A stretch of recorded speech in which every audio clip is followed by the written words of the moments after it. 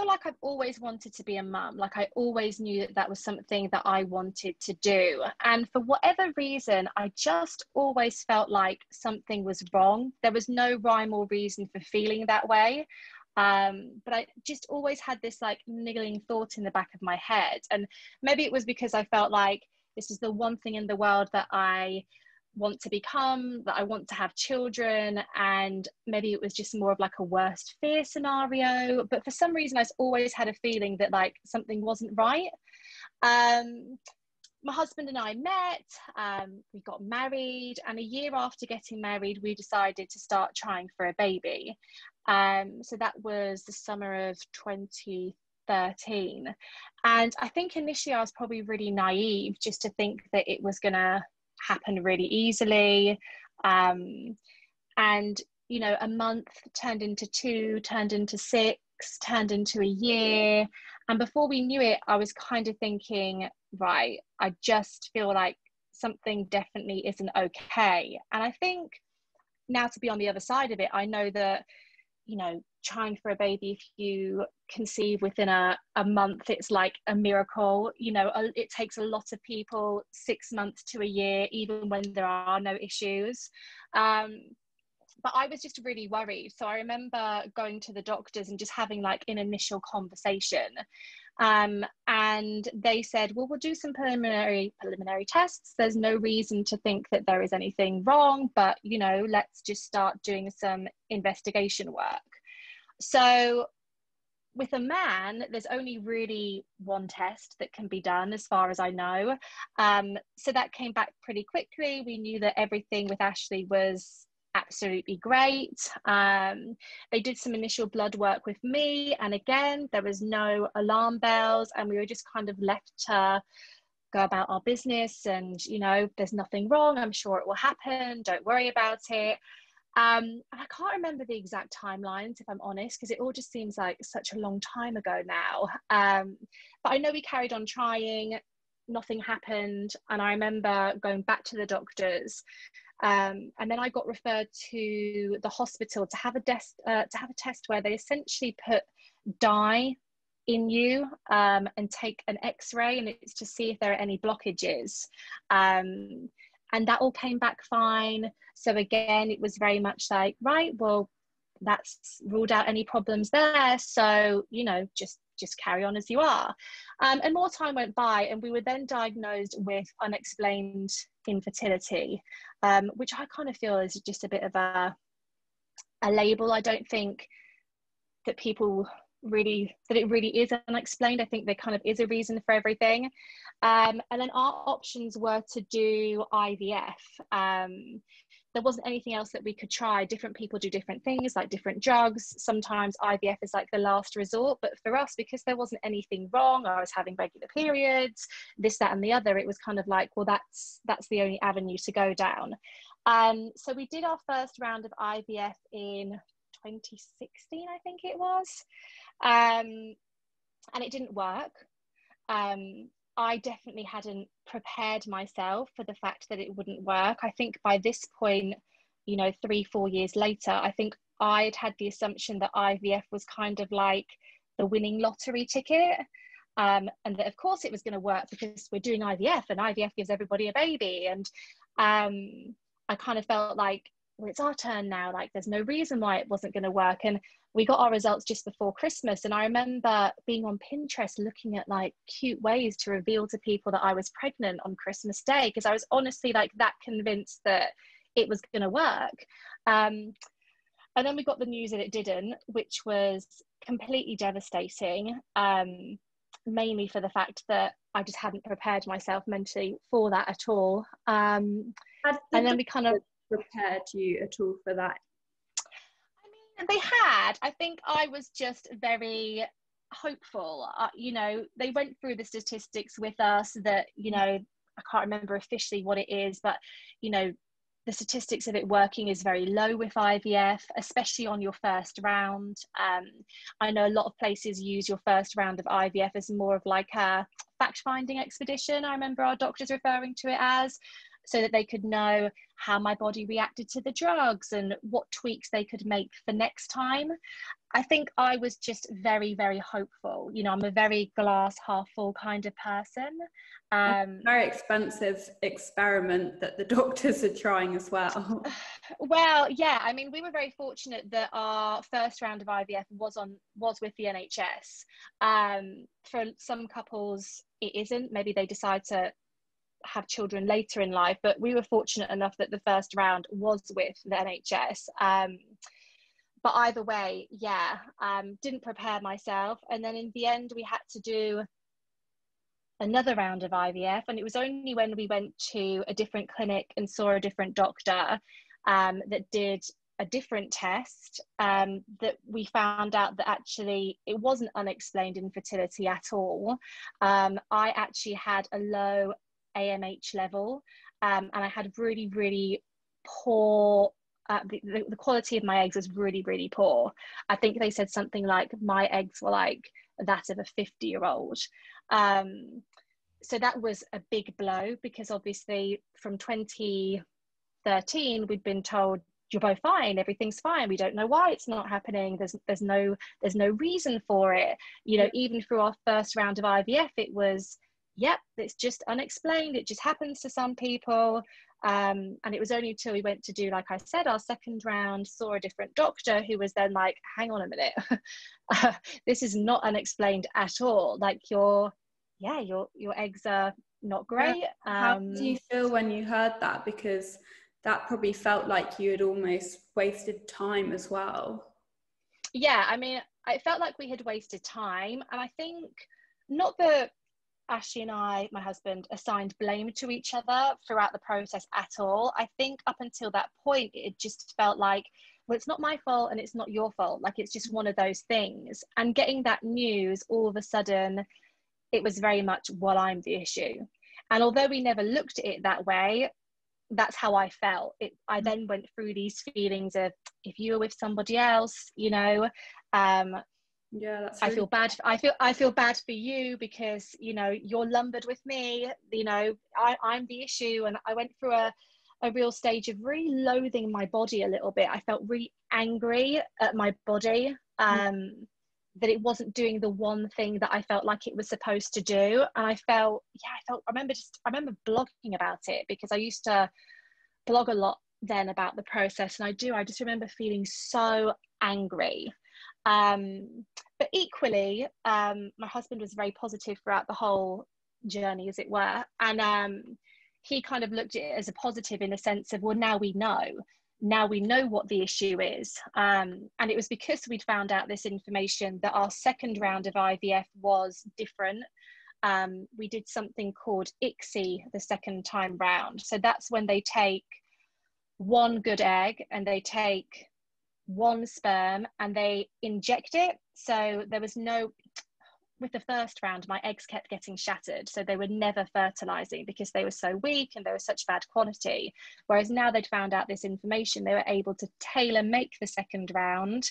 Um, which was a much more successful round, which obviously resulted in me getting pregnant and having Emily.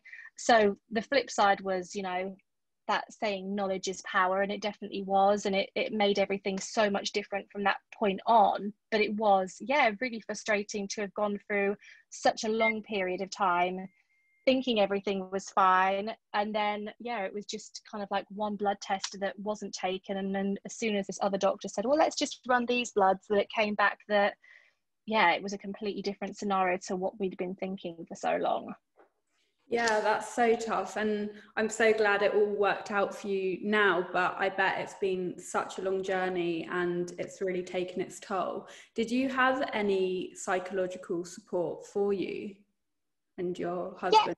Yeah. You, yeah. I mean, we were kind of, I felt like Ashley and I were a real team throughout that process. I think um, it's very hard for people to understand unless you're going through it or have been through it. Um, we've obviously both got like a great family and we've got great friends, but nobody could really relate to what we were going through. And it felt like we were just this little team trying to, you know, get to the get to the other side as it were um, i felt like it brought us a lot closer actually um, throughout that time. And I actually started my social media off the back of what we were going through, just because I couldn't find anybody in real life that was going through what I was going through. Um, so it was really nice to find people and connect with them and talk about IVF and and all the rest of it, and be able to say the things that you probably wouldn't say to your friends. You mm. know, um, when maybe I felt upset that someone had fallen pregnant or whatever. Um, you could go and talk to somebody that would completely get it, you know, and then at least feeling like you'd had like a load taken off your shoulders. And, you know, some of the friends that I have met through social media, you know, we met when we were both going through fertility struggles and now we have children and we meet up and you know it's it's wonderful so i think that was a, for me a, a huge a huge um, thing that really helped to get me through it um, and Ash, he's just kind of like a, a, typical man. Do you know what I mean? Like he, he's not a feelings guy. As long as I was all right, he was all right to a degree. Um, I think he definitely carried a massive weight around with him, which I hadn't quite realised. But it was like the relief on his face when he held Emily for the first time. Like I'll never forget it. Like I think at that moment I realised just how much he had been worrying and how much he had been internalizing, I guess. And then as soon as she was here, it was like I, it was almost like I could see a weight like leave him. Yeah, um, so yeah. And I guess you, he was probably worrying a lot about you as well because he was worrying about how you were dealing with it. So perhaps didn't want to take it on himself um, and show that he has issues happen to everyone. So, do you mm. have any tips for a partner or men going through it as well? Oh gosh, um, I think my only frustration with Ash through it actually was that he was really positive, which is which is unlike him. He was really positive, and I think some days I just needed to feel however it was that I felt. Mm. And I think sometimes his way of, of getting me through it was no, come on, it's going to be fine. Like, don't be negative, don't wallow in it. Let's, you know, let's keep on pushing through. And I think my advice would just be to allow your partner sometimes a minute to feel however it is that they need to feel. You know, I don't think it would have been great or it is great to wallow in things and let those feelings take over for days on end. But I think sometimes Ash just needed to allow me to have the evening to, you know, have a cry, eat a chocolate bar, mope about a bit, and then kind of like the next day be that cheerleader. Um, I think sometimes that's where we would clash a little bit. So I think that would probably be, be my advice from my experience is just, yeah, be positive pull your other half through um, and keep them in a good headspace. But equally, it is okay just to, yeah, just to like feel how you need to feel and get it all out and then keep it moving. I think that would probably be, be my advice. Yeah, for sure. That's great advice. And obviously, everyone's on different paths. A lot of people may not even want to have children and then with the added pressure of not being able to have children when you do want to have kids how did you navigate family and friends always asking about your path and how and when you were going to have a child um, I think we were really lucky in the sense of our family have always been. I, I never really remember getting questions from family about when are we going to have a grandchild? You know, when are you going to have a baby? I think for me, it was more work colleagues. Um, Ashley and I met quite young. Um, we got, I think we got married when I was like 21, was I? Something like that. Um, so I think sometimes the natural progression with people is, you know, you meet somebody, it's when you're going to move in. You move in, it's when you're going to get engaged. You get engaged, it's when you're going to get married. And then it was kind of felt like as soon as we got married, it was come on caroline you're next or you're not getting any younger or just those comments and it was definitely more in the work environment um, i used to work for a really large company it felt like there was always somebody pregnant there um, so i think people were just kind of always expecting it to be me next. And because there was always people that were pregnant it was just like a natural conversation like oh caroline like you know i can't believe such and such beat you to it. Like it must be you next. Um and all of it was said with love like none of it was ever malicious and i knew that. But i think for me for a long time i didn't share what we were going through because it's obviously a really sensitive subject. Um, i didn't want people knowing. But it got to a point where it was like again i hate to feel cliche but it was kind of like the truth will set you free. And i remember somebody saying to me about a guy called ian and he was like oh you know i see such and such is pregnant like you're not getting any younger like surely it must be you next you'd be a great mom and i just remember thinking like oh i don't want to swear but i just remember thinking like ah. I just said to him do you know what ian? I'm actually really struggling. I've been trying to have a baby for the past three years. We've done a round of ivf and it's failed and yeah i'd love to have kids but it's just not happening. And i remember him looking like so sad that he'd obviously upset me. But then i remember him turning around saying do you know what? I've been there. Um, me and my wife struggled to have children. We got told that we would never have children. Um, and we now have two boys and one's just off to university. And by me being honest it opened up that conversation with him. And i was like wow i wonder how many more people even that work for this company that have struggled or are going through the same thing to me. And it was almost like as soon as I was just honest about it, A, people stopped asking, to be honest, but B, it just opened up different conversations of different people. Um, when I did the IVF at work, it turned out that my boss at the time had done IVF three times, which then resulted in her having her daughter. So, by me being honest with her, I was able to get an incredible amount of support. You know, she completely got what I was going through. And I think I really hit the jackpot you know, with going through IVF and having a boss that had been there because you do need a lot of support and you do need a lot of time off work. Um, but again, it was only by me confiding in her that she then came back and said, Oh, well, in order for me to have Lily, we did three rounds of IVF and have they checked this and has this happened? So, yeah, I think it's it's hard to be honest with something so personal but just in my experience the second that i was honest about it was when things definitely turned around. People stopped asking the questions but also i found out that there were a lot more people that i was in constant you know i was in close contact with that had actually been in the same boat. Yeah for sure and obviously while you're going through it it may feel like there's absolutely no light at the end of the tunnel but what would you like to tell your former self now when you were going through this, now knowing that known? Oh. I mean, it's hard because it doesn't work for everybody. Do you know what I mean? There will be some people out there who will do multiple rounds of IVF and they will reach a point where they decide not to do it anymore and they don't go on to have children. It doesn't happen for everybody.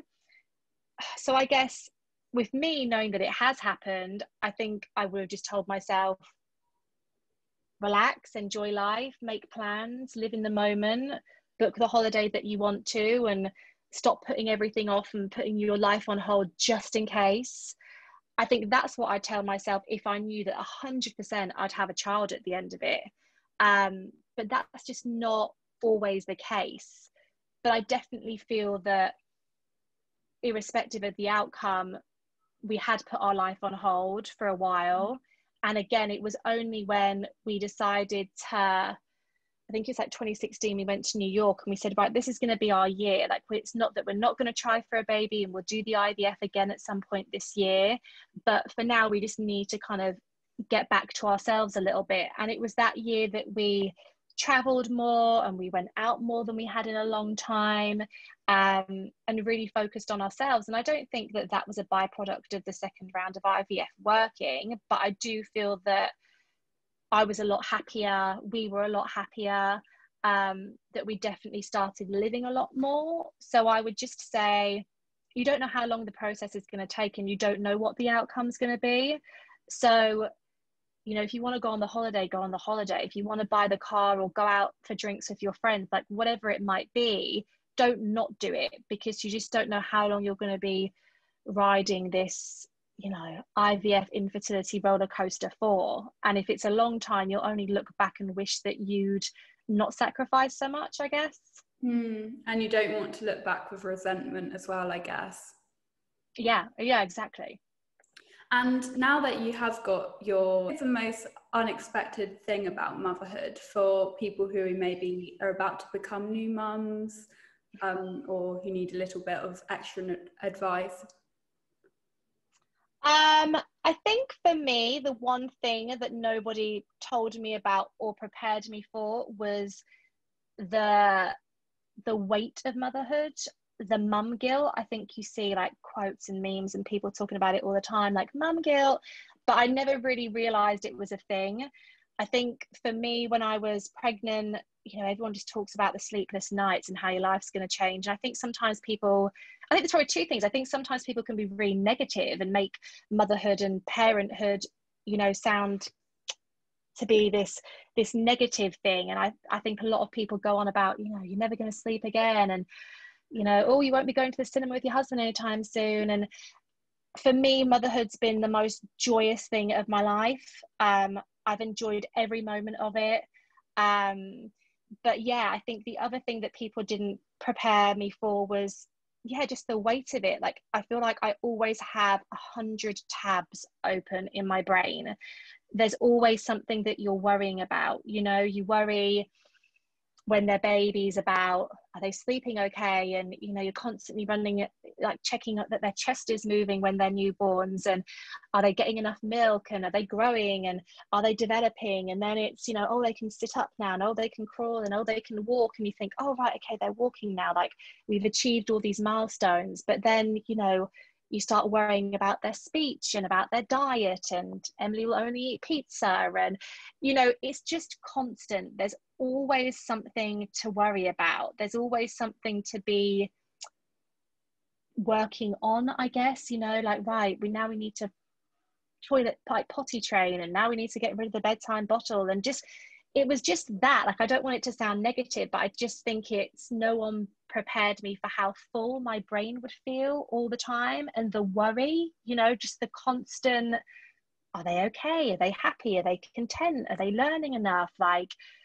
yeah they're getting their vitamins. I mean that's my experience anyway. Like maybe i'm a bit of a overbearing mum i don't know but i just feel like i'm always worrying about her best interests and i just think that's something that yeah i wasn't prepared for or the guilt of have we played enough today? But you know i need to empty the dishwasher and do the washing. And we need to go and do a food shop but this isn't the best most stimulating thing for you to do but the things need to be done. And i think for me it's just it's just that. And that's why nursery is such a great thing because i feel like the tabs in my head are slowly starting to close because i know I can get so much done while she's at nursery. And then when we're together, a lot of that like mum guilt of, oh, you're just sat by yourself playing and I should be playing with you. But instead, I am getting another load of washing out the machine. Like I'm able to get a lot of those things done when she's not with me. So when we're together, I'm not so much in that position where it's like, in a minute, in a minute, mummy will come in a minute. I can just kind of be like, yeah, okay, let's play. Like, let's just do whatever. But yeah, I think I think for me it was just definitely I had I just had no idea of how yeah just you know you're, you're sat there in bed and they're asleep and you're googling things for them and you finally get a minute to yourself. I think for me it was just yeah it was just just that just the mum guilt and the, the fullness of my brain at all times. Yeah they're definitely important conversations that need to be had fertility and actually when you do have your child yeah yeah for sure i think you know i feel like i'm really lucky that i don't feel like i've lost myself in, in ways i feel like i've really found myself in motherhood but you know i know friends that have had postnatal depression or friends that have really struggled with what their life is now. They've gone from having very like cosmopolitan lifestyles and you know it's kind of like not that anymore and that's been a, an adjustment. But again i just think they're all things that people don't talk about because you don't want to seem like you don't love being a mum or you know people don't want to seem or admit that they're struggling. Um, i think they are all conversations that need to be had you know as regularly as possible because the chances are that when you are honest, you find that a lot of people are going through the same thing. And that's why, although I probably don't talk about the infertility side of things as much, because obviously Emily's, you know, three and a half now, like when we were going through that, it was such a long time ago, but I'm always open to the conversation, always, because you, you, you have to be. If you can help one person, then that's a job done, you know? Yeah, for sure. And I think there's probably a lot of people that will be listening to this that are perhaps going through it right now or have just started their journey or at the end of the journey and this will be such useful advice. And mainly just to not feel like you're alone because it is such yeah. A but sadly it just isn't spoken about enough. And on another note you've just done our virgin cleanse haven't you? How did um, yes. you find that and especially coping with motherhood and the exhaustion that comes with that and so many different tasks that you've got to do did you cope okay with the cleanse how did you get on I loved it. I absolutely, I genuinely loved it. So my neighbor is very into fitness. She works out all the time, and she is a customer of yours. And it was her that told me about you guys, and I was like, oh, okay, like maybe, maybe I'll give it a go. I feel like September has kind of been like my my month to do things and achieve and try new things. And she was telling me that for her the benefit was she felt like it was a really big reset. And once she'd done the cleanse she then made much better choices when it came to eating. So i have like a mega sweet tooth.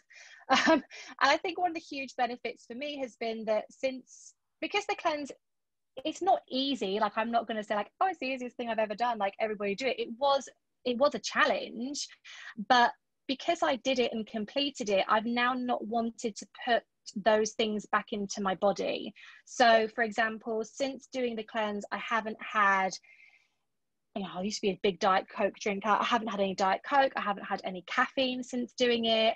I've definitely had like the odd sweet thing, but I mean, I think I was probably having, I'd be, if I was honest, like a chocolate bar a day, I would say you know, like when you pop to the shops of M and like I'd grab something, whatever. Um, I haven't gone back to my old ways. I think the nice thing about the cleanse is like I didn't have to worry about preparing any meals for myself. It was just, you know, done. Um, and it wasn't as hard as I thought it was going to be at all, actually. And I felt like, I know for some people it's like, oh, you just did a juice cleanse. But for me, I really felt like a big sense of achievement afterwards. Like I've never had so much fruit and veg in my system for, for such a long time. Um, I actually felt really energized, actually, which I think might be the misconception with people. They might think, oh gosh, like you're not eating food, like you must be really tired. And it is just three days out of your life. Like it's it's three days, like that's it. And for me, doing it and getting through it, the the benefits since then have been have, have, have you know completely outweighed the actual like task of of you know doing the cleanse in the first place. So yeah i yeah, I mean, i'd recommend it to anybody. That's what a lot of customers say. It's not the cleanse itself that's always the most beneficial thing although that has so many benefits but also actually it really is just pressing that reset on your body. And yeah. going forward you just want to continue to nourish yourself and actually put the best possible things into your body instead of those little tips and tricks that we've probably all um, come up with since lockdown as well. Yeah, yeah, and I know a couple of people like had messaged me on social media saying like, "Oh, but did you lose weight?" And I, I said to someone, I feel like if you're doing this because you want to lose weight, it's not for you.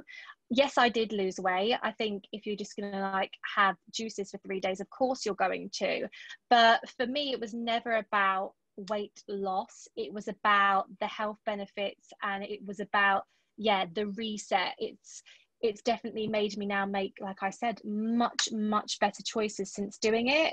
It's not something that i would say to people like oh just do for a quick fix. Like of course it's you know great before a wedding or this that and the other but i think if you really want to make a lifestyle choice and make much better eating choices then it's a great thing to do because like i said i just haven't whenever I go to have something, I just think, well, what was the what was the point in those three days? Like I had such bad headaches because obviously I have way too much caffeine, and so since then, you know, I've bought decaf coffee, given my diet cokes away to my neighbour, like you know, because I don't want to, I don't want to have that temptation. I don't want to put it all back back in again because there's no need for it. So yeah, no, I, I, yeah, I mean, I'll be a, a customer always now. I really, really enjoyed it. Oh, that's great to hear.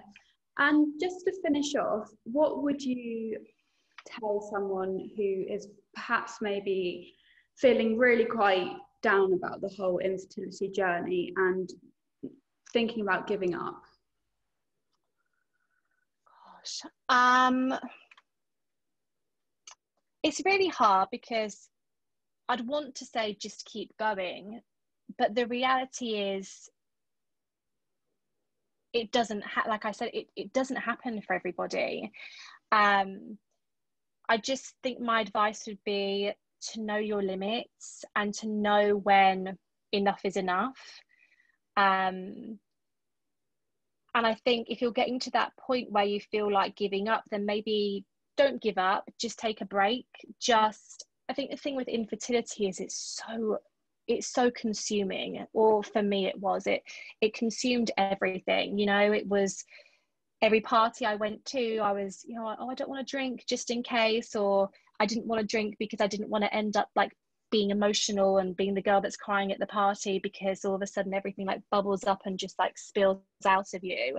Um i think there's i don't think we ever would have given up equally though. I think we always would have kept persevering and kept trying. But, you know, I know people that have done or know of people that have done nine rounds of IVF and still haven't got there. So I think you have to know your point. But I just think my advice would be if you are having those feelings, maybe don't give up, just take a break, go and live a little, try for it try to be in a space where it's not so consuming. I think that's really easy to say. Like i've been there. I know when people have said to me like oh just try not to think about it. All you do is think about it. Like you know you really do.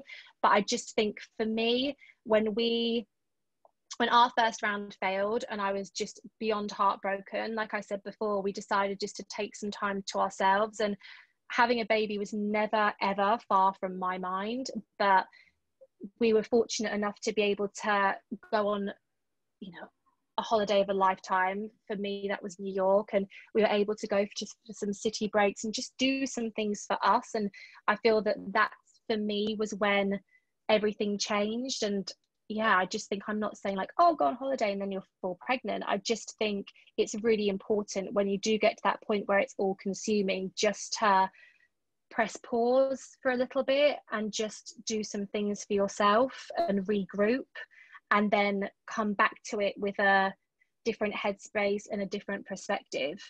And i think my advice would always be you know fertility is a money maker. It is. Like it's such a big business babies unfortunately. Um and i just think to really shop around as awful as that might might sound compare clinics make sure that when you are going to clinics it's a really good fit for you because like i said up and you know we were four years in there nearly you know just being given the same advice of you're fine you're both fit and healthy it's just unexplained. And it just took seeing one doctor at a different clinic that completely changed our path and i'll like forever be grateful to her. So i just think you know do your research and just make sure that every box had been ticked has been ticked. And that's why it's great to connect with people that are going through the same thing because they'll you know give you advice and oh have you had this done? And did, did they check this? And you know maybe you might be like us and find something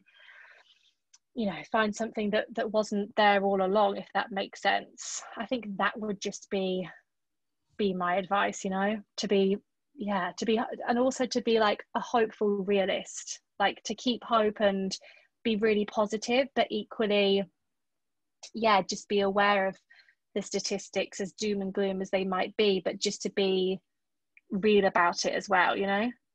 Yeah that's great. Thank you so much for sharing all of that. And I guess if anyone did have any more questions and they would like to get in contact with you personally, where can they find you? Yeah no i am i'm always there to have those kind of conversations. Um i guess the best place is probably uh, would be instagram and my handle is at married and 29ish i'm definitely not 29 anymore but um that's that's my handle. And you know i'm always open to people you know dming me and having that conversation because i know how useful it was to me when i was going through that. So yeah i'm always more than happy to have those conversations with anybody that feels that they need it